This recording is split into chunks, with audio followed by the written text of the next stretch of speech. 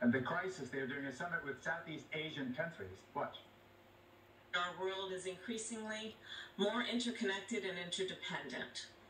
That is especially true when it comes to the climate crisis, which is why we will work together and continue to work together to address these issues, to tackle these challenges, and to work together as we continue to work operating from the new norms, rules, and agreements that we will convene to work together on.